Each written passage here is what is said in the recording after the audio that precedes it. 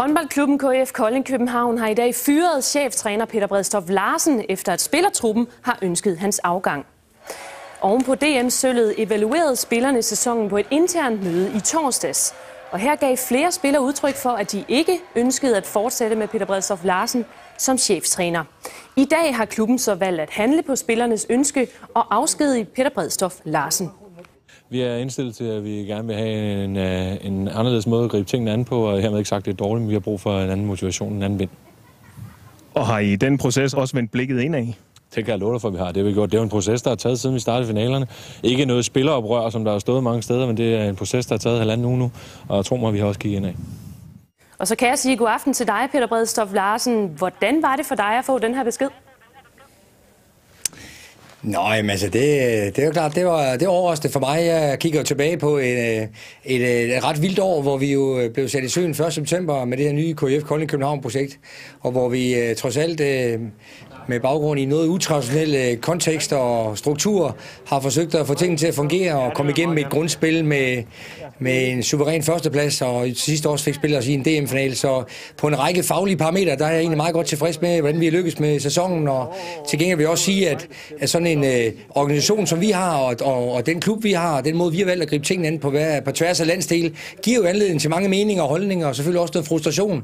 Og øh, det er klart, at det skal jo i en evaluering, når man kigger fremad mod den næste sæson. Men Peter Bredstof Larsen, altså allerede i går kunne du øh, læse i Jyske Vestkysten, jeg ved godt, du har været udenlands, øh, men læse i hvert fald i andre medier, at spillerne har bedt ledelsen om at fyre dig.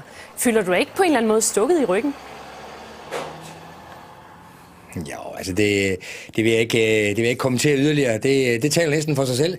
Det jeg, vil, øh, det jeg er nødt til at glæde mig over, det er, at jeg kigger tilbage på øh, en sæson, hvor jeg i hvert fald kan, kan, jeg kan i hvert fald godt se mig selv i spejlet.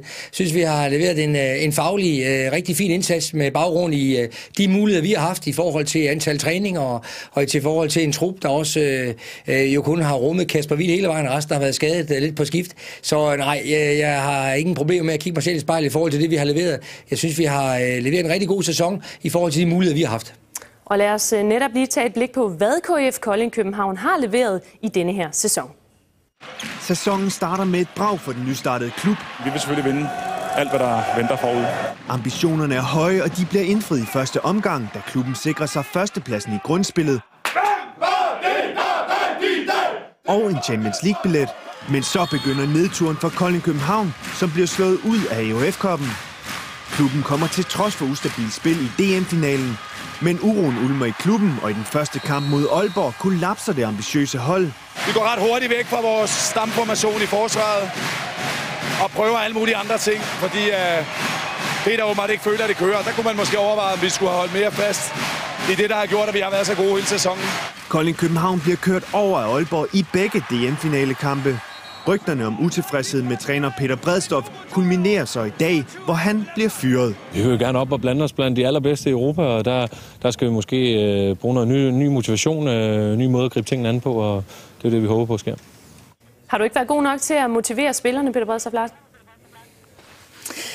Ja, det, det vil jeg jo ikke selv afgøre. Jeg vil bare sige, at øh, de hold, jeg har været en del af, øh, almindeligvis øh, klarer sig ganske fornuftigt, og det gælder også for det hold, jeg har været en del af nu.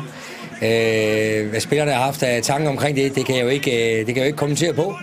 Øh, så øh, nej, det vil jeg andre, det vil jeg andre vurdere. Men altså, man kan jo sige, at det er en klub med store armbevægelser fra sæsonens start. I vandt ikke noget i den her sæson. Er det så ikke naturligt, at klubben vil prøve noget nyt? Jo, men som sagt, så synes jeg jo, at øh, når jeg kigger på øh, den her, de her seneste ni måneder fra 1. september, hvor vi jo øh, blev sat i søen, så kigger jeg tilbage på rent fagligt øh, en, en, en sportslig godkendt sæson, hvor vi har spillet noget rigtig fin håndbold undervejs, og som sagt, ud af 26 kampe i grundspil, kun tabt to, og kom videre til Champions League, og til sidst også spillet os en DM-finale. Vi vil gerne have vundet nogle titler, men det, når det bliver afgjort på en lørdag og en lørdag, så lader jeg mig nu ikke distrahere det og evaluere på det. Jeg ser en sæson, hvor vi i hvert fald har fundet en måde at gribe tingene an på, som jeg har været meget tilfreds tilfreds med. Vi har scoret næstflest mål og scoret færrest imod os. Så på en række parametre synes jeg, at tingene har fungeret godt, og har svært ved at kende, genkende billedet af, at øh, der mangler motivation. Og hvad jeg kan sige, hvis, øh, hvis de her spillere efter ni måneder sammen øh, mangler øh, ny motivation, så, øh, ja, så, øh, så kan det godt være, at problemet vil genopstå. Jeg må sige det sådan. Tak for øh, de ord, Peter Bredstof Larsen, fordi du var med her.